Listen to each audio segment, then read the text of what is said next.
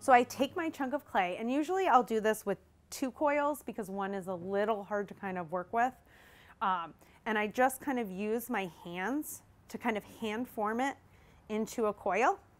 I like to use my hands because I find that the canvas or whatever your tabletop, if it absorbs moisture, sometimes it can dry out the clay a little bit more. And the softer the clay, the better with this because you really want the clay to kind of push easily. It's just easier on your hand, especially when you make like five of these in one day.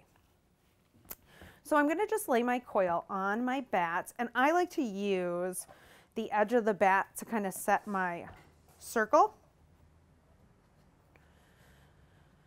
So it kind of keeps it in the round.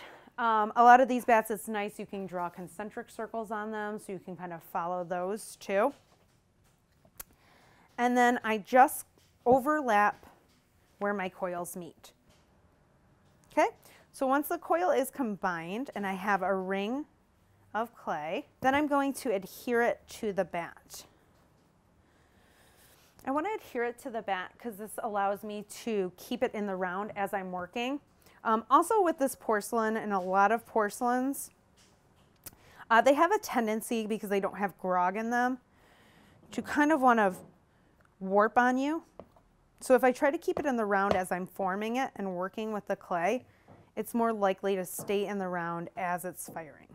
So what I'm doing is I'm lightly taking my um, index and middle finger on the inside and my thumbs on the outside and I'm pressing the clay to the bat. Just making sure that it's nice and secure. I'll even run a finger across it on the inside, just making sure it's nice and blended.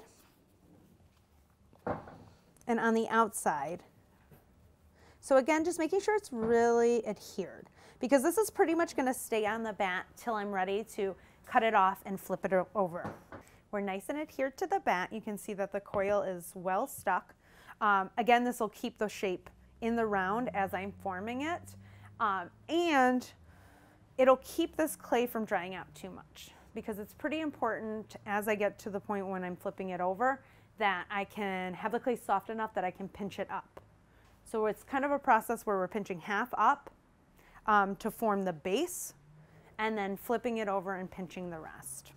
I build these upside down because uh, structurally it's just easier for the clay. It's more stable. If I build up and in, I can work a little quicker. Um, and it's easier to kind of control the shape than if I'm building up and out.